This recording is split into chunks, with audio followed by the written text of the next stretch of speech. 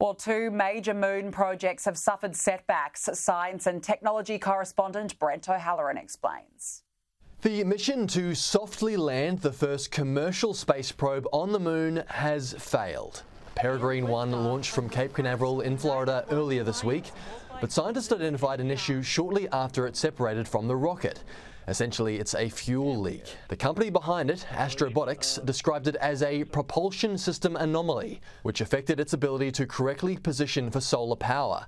Engineers thought they'd fixed it, but they now say there is no chance of a soft landing on the moon. You can't fix things in space. It's it's part of the, it has to be built to work and even a small failure can lead to a catastrophic outcome. Peregrine 1's mission was a controversial one, which highlighted concerns around the commercialization of space. Among other tasks, it would have delivered ashes and a sports drink to the lunar surface.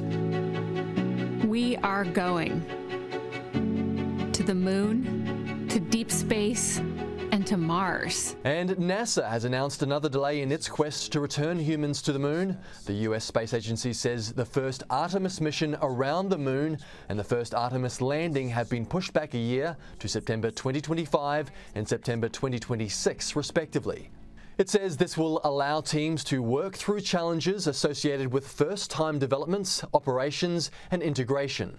Some of the stupid decisions that were made a few years back are coming back to haunt NASA part of the reason that they can't get the next spacecraft to go to the moon ready in time is that they have to take all the electronics out of the first one that went. Why? Well, they thought they were saving money. Ends up being the stupidest thing they could have done. It's unclear whether this will impact Rover, the first Australian designed lunar rover, which is part of the Artemis program. It's expected to be sent to the moon by the end of the decade.